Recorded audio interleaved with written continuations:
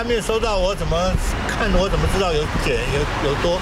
退伍军人年金被砍，处分通知却还没寄到，这些老兵好无奈。不少人拿着存折找提款机报道，排队查询。你要告诉我们怎么死的？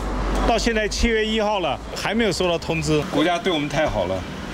恨不得我们早点死了算了。国防部六月三十才匆忙寄出新版处分书，新制上路这天，退伍军人根本来不及收到二十万份处分书，再加上日前寄错近六万份，军改光是油物花费就破千万。年改七月一号仓促上路，有人就在网络上串联发起不消费运动，抵制政府。我只是直接感受的话，就是买汽油变比较少了，我不知道是不是年金改革的问题啊。贵的菜就不买了，就买这一点了，以前就买的比较多啊。我只有。就买一百块钱一多，一百块钱一堆这种东西，当然不敢买太贵了。手头紧缩，退休老师逛菜场，就算想买也不敢买。政府即将面临的是排山倒海的诉愿申请。确实，在这个大安文山这样的一个传统公教区引发很大的争议。其实大部分都来求助我们，就说这个诉愿要怎么写。现在就会有很多多余的社会成本即将要发生了。